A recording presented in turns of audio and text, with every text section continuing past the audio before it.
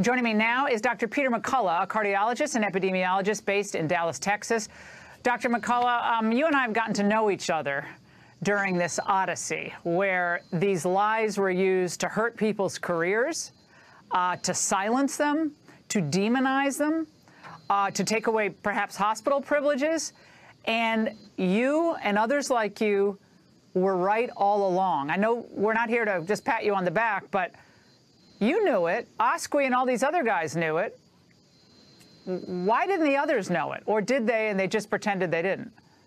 We've cited the data, followed this very carefully over time, and many occasions we've said, what's wrong with those who are following a false narrative? Are they simply behind on it, or is it intentional? Did they know, or, or, do, or should they have known? Uh, you know, we still can't answer these questions today, but, you know, at the level of the Supreme Court, to be giving out grossly wrong information in uh, you know spoken statements by the justices uh, really takes this to a level that I think historians will record as atrocious. Now, uh, Walensky of the CDC was asked, Dr. McCullough, by our own Bret Baier, about COVID deaths from uh, COVID or deaths from COVID versus with COVID. Now, watch this response. Do you know how many of the 836,000 deaths in the U.S. linked to COVID are from COVID, or how many are with COVID, but they had other comorbidities? Do you have that breakdown?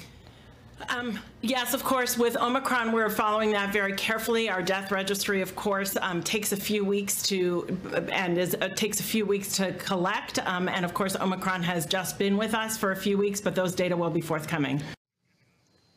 Dr. McCullough, she completely avoids the question again. He wasn't talking about Omicron, which is relatively new. We've had almost two years of data, and they still can't tell us what deaths are really COVID caused deaths versus three, four comorbidity caused deaths? What we know from uh, sources actually on the CDC website, but also the Italians have recoded their deaths. It's clearly, uh, you know, basically 10% or fewer of all the deaths is it purely driven by COVID 19 syndrome? The Italians think is 3%. The rest of it is largely contributed uh, to by other comorbidities. I mean, the best example would be Colin Powell. Colin Powell, uh, you know, had terminal myeloma. He was fully vaccinated. He died with COVID. Uh, you know, people didn't make a big deal out of COVID being a determinant of death, appropriately so, because he was at the end of his life. That that is uh, what happened to Colin Powell is common to uh, many, many of the deaths we've seen in the United States. Again, you're right. We knew this data out of Lombardy, the Lombardy region of Italy, in March and April of 2020 which is what we were talking about at the time, was hypertensive, diabetic, high BMI, uh, you know, uh, very old individuals generally. That data was there in the first two months of COVID. Uh, it's, it's very curious as to why this is all ignored. I have to ask you, though, about this push Dr. McCullough, to boost Americans as as fully vaccinated. So university students are told you have to get boosted by X date or you're not welcome on campus. What about that given Omicron?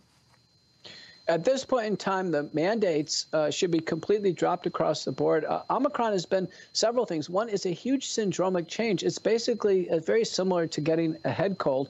For those who are uh, previously immune and those who are vaccinated, it sometimes is almost an imperceptible mild syndrome that could last a few hours or a day or so.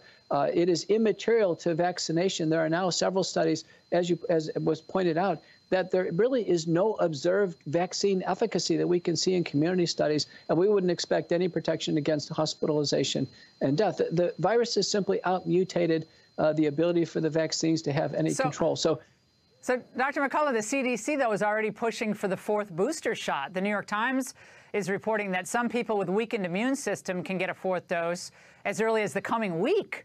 And other recommendations uh, we expect to come regarding uh, the fourth booster shot.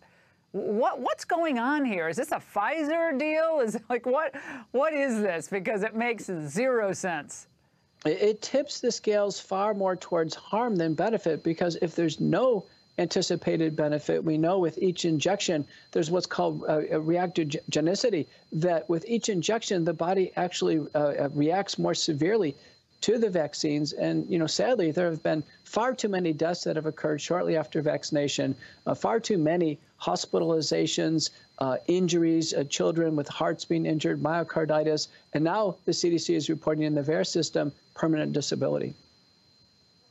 Dr. McCullough, thank you for being a voice of courage and wisdom throughout this entire pandemic.